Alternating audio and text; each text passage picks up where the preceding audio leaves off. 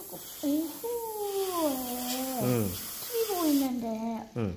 이빨이 신경 쓰여서 혀를 툭 건드니 갑자기 막 흔들렸어. 대, 대롱대롱 거려가지고 어, 엄마한테 가니까 엄마가 칠로 꼽자고 했는데 갑자기 응. 손으로 기습 기습하듯이 뽑아버려. 뽑아버려가지고. 그래가지고 피가 이빨에 다 묻었어. 음. 아팠겠다. 네. 나도 그런 적 있었거든. 칠로 빼준다면 갑자기 와가지고 응. 툭 빼버리는. 그러니까. 나도 그때 깜짝 놀랐다니까, 진짜. 근데 금방 빠지더라. 응, 잘 치라고 했어. 전 처음에 응, 앞니빨에서 피가 나오는 줄 알았어요. 음. 새빨개 져가지고 이제 묻어갖고 그러지, 그게.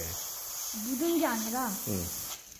칫솔을 툭 건드려 보니까 바로바로 떨어져 나가고 오. 액체 같은 거 액체 같은 거 보니까 응, 피가 튄 거예요. 그냥 오. 엄마가 툭 뽑아버려가지고 그랬구나. 네. 많이 놀랬지? 네. 그러니까. 이빨 뽑을 때 막 훅 이러면, 오! 나도 그런 거 놀란다니까, 진짜. 옆에 좀 덜 칠해진 데 있는 것 같은데? 반대쪽, 반대쪽. 요, 요, 여기 덜 칠해진 것 같아. 어, 그쪽에. 응. 오케이. 이 정도면 되겠다. 네개 남았다.